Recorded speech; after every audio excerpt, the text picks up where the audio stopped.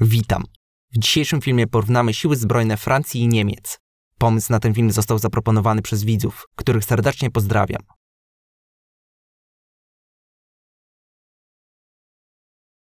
Francja znana jest z posiadania jednych z najlepszych sił zbrojnych w całym NATO, lecz według raportu, zaprezentowanego we francuskim parlamencie 17 lutego 2022 roku, kraj ten nie jest gotowy do prowadzenia konfliktu o wysokiej intensywności. W raporcie można przeczytać m.in., że siły powietrzne w walce z równorzędnym przeciwnikiem zostałyby zniszczone w niecałe 10 dni. Braki w pociskach rakietowych wystąpiłyby po dwóch dniach walki, a amunicji zabrakłoby w ciągu tygodnia. Aby temu przeciwdziałać, we wrześniu 2022 roku Francja przedstawiła cele modernizacji gospodarki, ze szczególnym naciskiem na dostosowanie przemysłu obronnego do współczesnych wyzwań. Celem jest m.in. przyspieszenie czasu dostaw, znaczące uproszczenie procedur organizacyjno-administracyjnych czy stworzenie rezerwy przemysłowej, która pozwoli na zwiększenie mocy produkcyjnych fabryk w przypadku sytuacji kryzysowych. Dodam jeszcze, że niektóre samoloty bojowe pokrywają się z samolotami szkoleniowymi. Chciałbym Cię również zachęcić do zasubskrybowania tego kanału, jak i zostawienia komentarza z pomysłem na następny film oraz łapki w górę lub w bok po obejrzeniu. Zapraszam do oglądania.